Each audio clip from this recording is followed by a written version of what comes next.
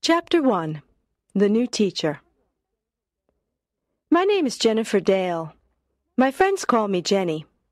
I'm 16 years old and I live near Boston.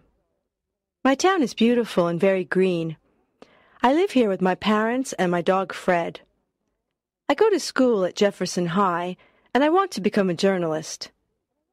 In my free time, I play volleyball and I listen to heavy metal music. I want to tell you my story. It was the first day of high school. I was excited. I already knew most of my classmates, but I didn't know my new teachers. I got up, ate my breakfast, and went to school. On the street, I met my friend Dana.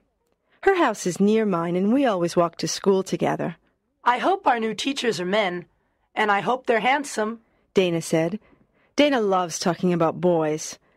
Yes, I need something new and interesting in my life. I answered. We arrived at school and went into our classroom. A young man was inside. Hello, boys and girls. I'm your new science teacher. My name is Mr. Adams.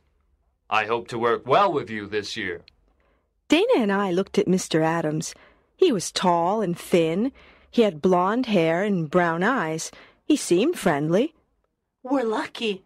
I think he's a very handsome teacher. Dana said to me. Yes, he is, I answered.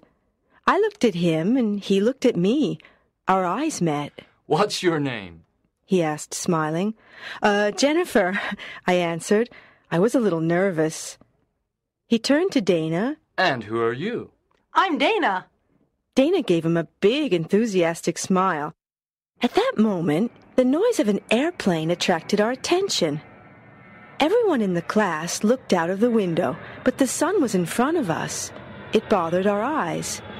We turned away from the window, except Mr. Adams.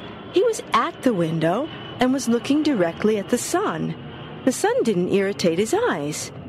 Gee, I thought, how can he look at it like that? The airplane then passed and the lesson continued.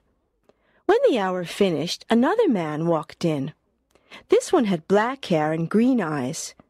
His nose was small and pointed, and he had strangely high cheekbones. What a weird looking teacher, I said to Dana. Wow, you're right, she exclaimed. The teacher didn't smile and spoke coldly to the class. I'm your English teacher. I want you to be on your best behavior this year. The lesson can begin. And remember, no talking. Everyone in class was evidently shocked, but no one said anything. Another student, Steve, raised his hand. What? asked the new teacher in his cold voice. Excuse me, but what's your name? Mr. Stone, he answered. I then noticed that his voice wasn't just cold, it was metallic and monotonous. Dana looked at me with disappointment. She raised her eyebrows. What's his problem? she mouthed. The lesson proceeded.